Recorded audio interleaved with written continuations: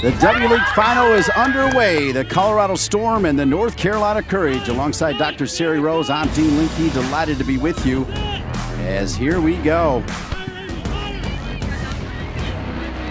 It's the W League final. Oh, and in the back of the net, the first goal comes as it finds number 12, Sydney Cheeseman. Tremendous turn by Jabril. Jabril, Carolina Courage? They answer the bell and we're tied at once.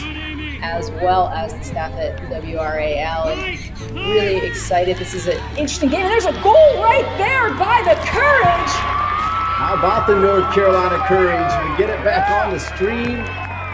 It's turf field taking the rain well. Sent back with the right foot in front, and how about the North Carolina Courage? They've done it again. Mackenzie Bagley from Louisville.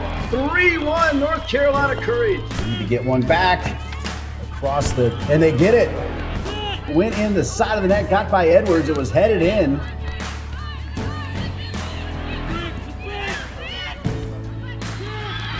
And that is the final whistle. How about the North Carolina Courage? They do it in their home.